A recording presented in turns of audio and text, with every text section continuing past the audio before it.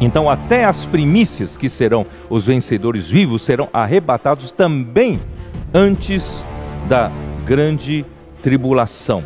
Mas você vai dizer, mas peraí, como é que, né? Como é que você sabe? Porque a partir, olha aqui, ó, do capítulo 14, versículo 4: São estes os que não se macularam com mulheres, porque são castos. São eles os seguidores do cordeiro por onde quer que vá.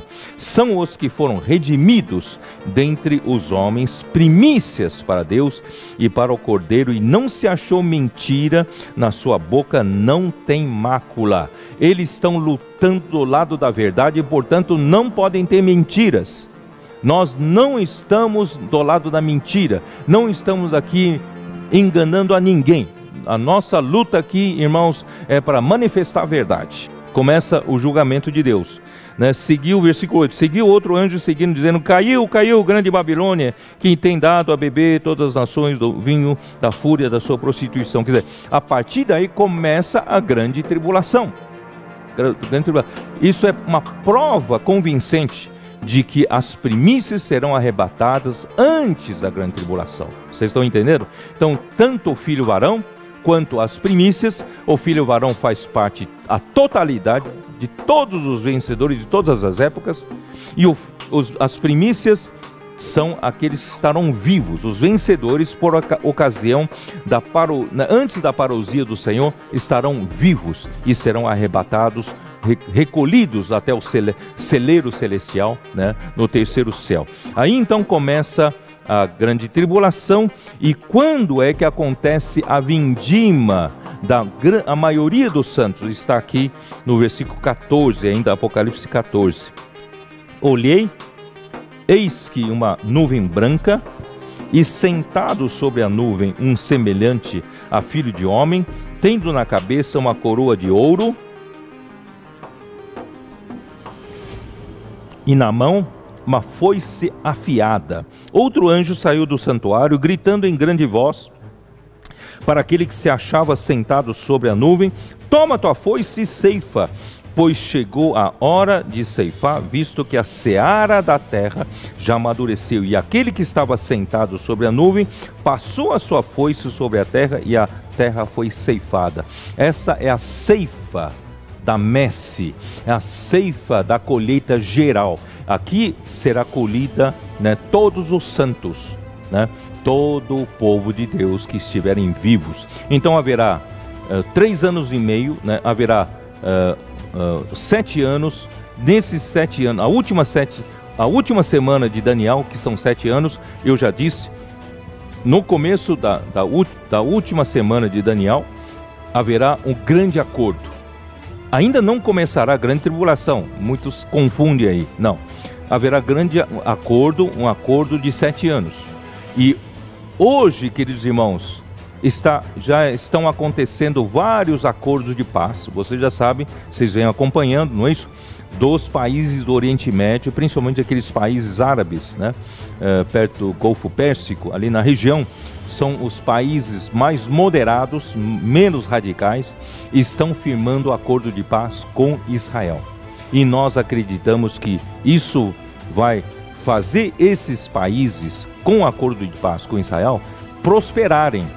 E os demais países mais radicais vão serem vão ser pressionados né, também a fazerem esse acordo, porque eles não querem não querem ficar para trás e haverá sempre alguém poderoso por trás costurando esses acordos. Né? Então, uh, vai chegar um momento, eu não sei se será 2023, mas será um, chegará um momento de uma aliança de sete anos. Tá? Então, essa aliança permitirá, como eu disse antes, a construção do templo. Então, aí quando no meio do acordo, sete, dos três anos e meio, do acordo passaram-se três anos e meio, então o anticristo se manifesta como homem da iniquidade e quebra esse acordo e inicia-se a grande tribulação. Né? Então, dos, no, aí no final dos. Hoje não vou falar sobre a grande tribulação. Então, no final da grande tribulação, quando Deus for usar Cristo para executar a, a, a a consumação desse século, a finalização né, dessa, dessa era, Deus né, vai arrebatar todos os santos.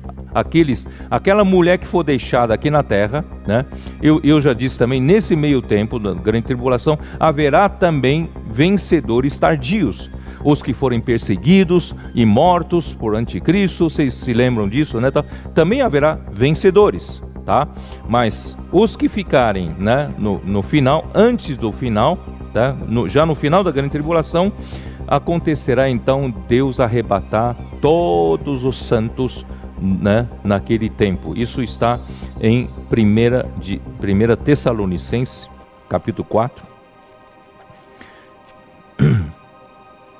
Eu vou ler desde o versículo 13. Vocês estão me entendendo, né? Vou repetir. Capítulo 12 fala do filho varão, que é a totalidade dos vencedores, desde o passado até os vivos, na época do arrebatamento. E as primícias, em Apocalipse 14, são, serão os vencedores na época do arrebatamento. Os vencedores como os primeiros frutos, né? Então, todos os vencedores serão arrebatados ao terceiro céu antes da grande tribulação. Isso provavelmente antes da metade da última semana de Daniel, tá? É mais ou menos ali. Isso é antes da grande tribulação. Aí então começa a grande tribulação quando o anticristo se manifesta, né? Ele faz a grande perseguição, coloca a imagem da besta, aquela coisa toda, haverá coisas horríveis nesse, nesse tempo, esse período de três anos e meio. Mas quando chegar no final desses três anos e meio, tá? Então vai ocorrer o que eu vou ler agora, tá bom? Capítulo 4, 1 Tessalonicenses 13. Não queremos, porém, irmãos, que sejais ignorantes com respeito aos que dormem, para não vos entristecerdes como os demais que não têm esperança. Pois se cremos que Jesus morreu e ressuscitou, assim também Deus, mediante Jesus, trará em sua companhia os que dormem. Aqueles que dormem vão ser ressuscitados quando Jesus voltar.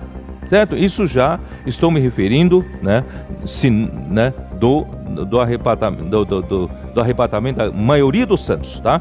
Aqui, versículo 15: Ora, ainda vos declaramos por palavra do Senhor isto, vós, nós, os vivos, os que ficarmos até a vinda do Senhor, essa vinda aqui é a vinda pública.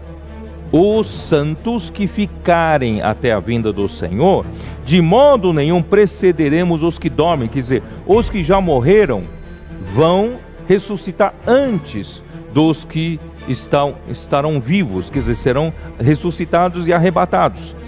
Porquanto o Senhor mesmo, dada a sua palavra de ordem, ouvida a, a voz do a voz do arcanjo e ressoada a trombeta de Deus, descerá dos céus, o Senhor mesmo descerá dos céus, e os mortos em Cristo ressuscitarão primeiro, quer dizer, os, os mortos, né, ressuscitarão primeiro, e depois nós, os vivos que ficarmos, os que ficarmos, seremos arrebatados juntamente com eles entre nuvens para o encontro com o Senhor nos ares. Veja bem, é diferente. O filho varão e as primícias serão arrebatados até o trono de Deus, terceiro céu.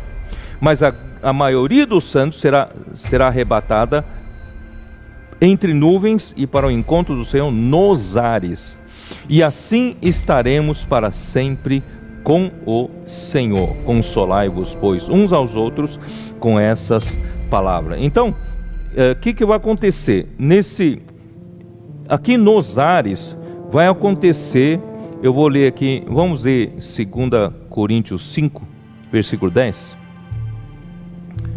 2 Coríntios 5, 10. 5, 10, tá? porque importa.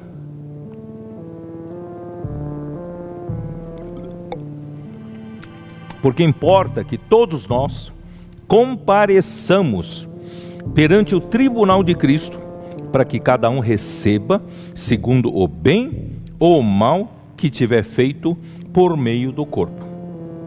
Quer dizer, esse tribunal de Cristo é para julgar os cristãos, para julgar o povo de Deus.